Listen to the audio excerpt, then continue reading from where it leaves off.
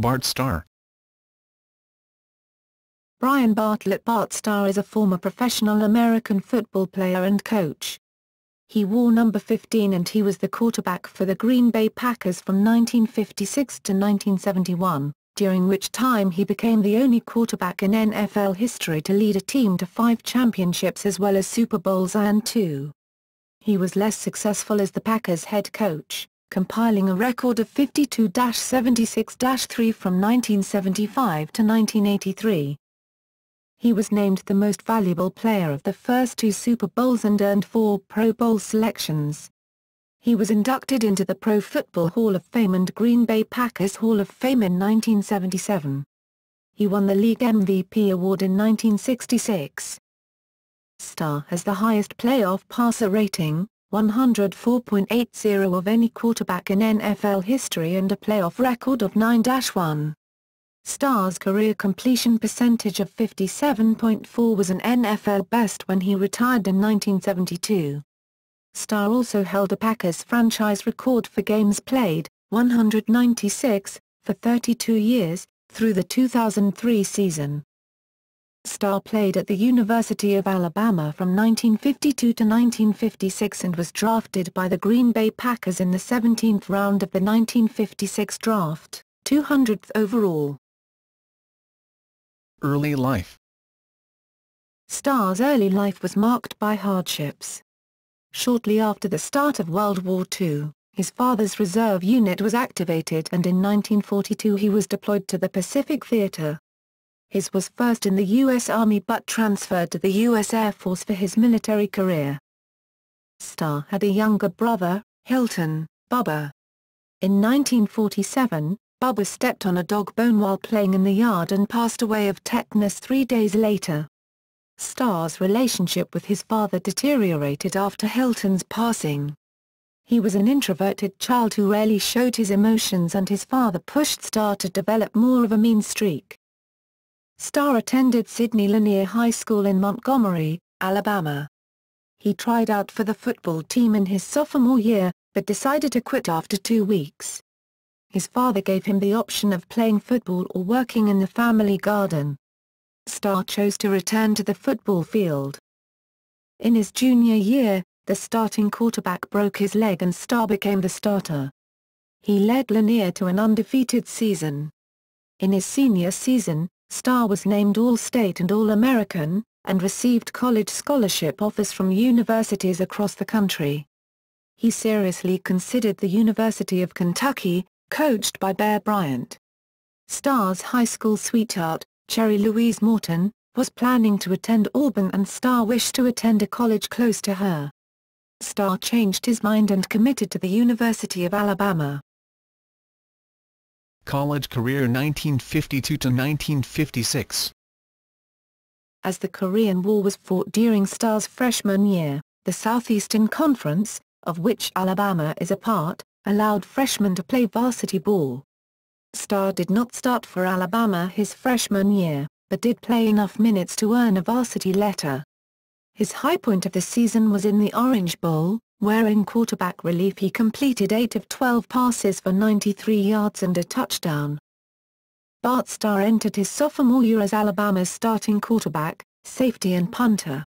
His punting average of 41.4 yards per kick ranked second in the nation in 1953 behind Zeke Bratkowski.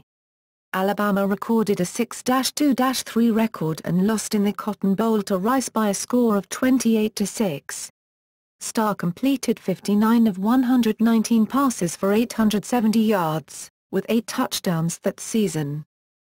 In May 1954, Starr eloped with Cherry Morton, the couple chose to keep their marriage a secret. Colleges often revoked the scholarships of married athletes in the 1950s, believing their focus should remain on sports. Cherry remained in Jackson, Alabama, while Starr returned to the University of Alabama. That summer, Starr suffered a severe back sprain while punting a football. He rarely played during his junior year due to the injury.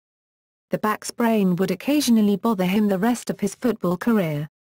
After a disappointing season of 4-5-2, Red Drew was replaced by J.B. Whitworth as coach of Alabama.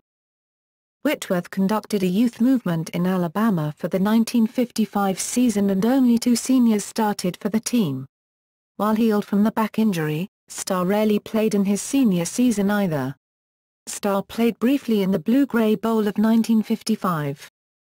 Johnny Dee., the basketball coach at Alabama, was a friend of Jack Vainisi, the personnel director of the Green Bay Packers. Dees recommended Starr as a prospect to Vainisi the Packers were convinced that Starr had the ability to succeed in the NFL and would learn quickly. In the 17th round of the 1956 NFL Draft, Starr was selected by the Packers, with the 200th pick.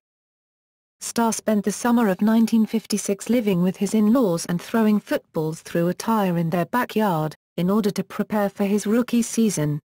The Packers offered $6,500 to sign Starr and he accepted, with the added condition, requested by Starr, that he receive $1,000 upfront. Packers quarterback Starr began as a backup to Tobin Rote in 1956 and split time with Babe Parilli until 1959, Vince Lombardi's first year as Packers coach. In that season, Lombardi pulled starter Lamar McHan in favor of Starr, and he held the starting job henceforth. The following season the Packers advanced to the 1960 NFL Championship game, but lost to the Philadelphia Eagles, Lombardi's only postseason loss as a head coach. The Packers returned to the title game and won in 1961 and 1962, both over the New York Giants. In 1966, Starr was named the NFL's most valuable player by the Associated Press, AP, the Newspaper Enterprise Association, NEA, and UPI. Starr was responsible for calling plays when he was quarterback, as was the norm at the time. One of his most famous play calls was in the Ice Bowl against the Dallas Cowboys in the NFL Championship game on the final day of 1967. In Miami, the Packers defeated the AFL champion Oakland Raiders 33-14 in Super Bowl II, Lombardi's final game as head coach of the Packers. Bart Starr and the Packers didn't really surprise the runner-up Raiders, as they were favored by 13 and one-half points going into the game. The 1967 Packers were the last team to win three consecutive NFL titles. Starr's playing career ended at the conclusion of the 1971 season, and at the time had the second-best career passer rating at 80.5, first at the time was Otto Graham at 86.6. Packers coach Immediately after his retirement as a player, he served as the Packers quarterbacks coach in 1972 under Dan Devine, when the Packers won the NFC Central Division title at 10-4 with Scott Hunter under center. He was then a broadcaster for CBS for two seasons. When Devine left for Notre Dame after the 1974 season, Starr was hired as head coach of the Packers.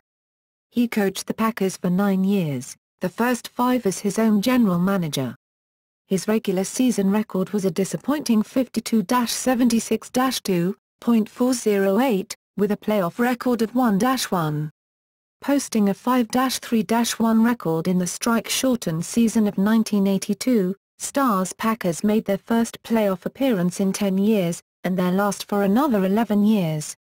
They defeated the St. Louis Cardinals 41-16 in the expanded wild card round of 16 teams on January 8, 1983, then lost to the Dallas Cowboys 37-26 in the divisional round the following week.